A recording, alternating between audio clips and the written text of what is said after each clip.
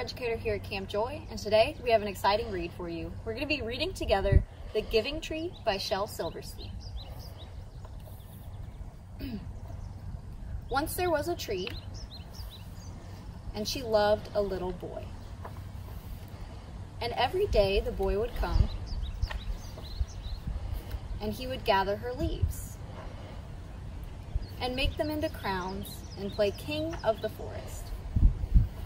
He would climb up her trunk and swing from her branches and eat apples. And they would play hide and go seek. And when he was tired, he would sleep in her shade. And the boy loved the tree. And the tree was happy. But time went by, and the boy grew older. And the tree was often left alone. Then one day, the boy came to the tree, and the tree said, Come, boy, come and climb up my trunk, and swing from my branches, and eat apples, and play in the shade, and be happy. I am too big to climb and play, said the boy. I want to buy things and have fun. I want some money. Can you give me some money? I'm sorry, said the tree, but I have no money.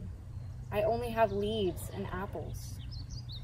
Take my apples, boy, and sell them in the city. Then you will have money, and you will be happy. And so the boy climbed up the tree and gathered her apples and carried them away. And the tree was happy. But the boy stayed away for a long time, and the tree was sad. And then one day, the boy came back, and the tree shook with joy, and said, Come, boy, climb up my trunk and swing from my branches and be happy. I am too busy to climb trees, said the boy. I want a house to keep me warm, he said. I want a wife, and I want children, and so I need a house. Can you give me a house? I have no house, said the tree. The forest is my house, but you may cut off my branches and build a house. Then you will be happy. And so the boy cuts off her branches and carried them away to build his house. And the tree was happy. But the boy stayed away for a long time. And when he came back, the tree was so happy. She could hardly speak. Come, boy, she whispered. Come and play. I am too old and sad to play, said the boy.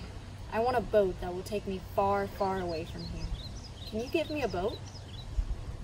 Cut down my trunk and make a boat, said the tree. Then you can sail away and be happy.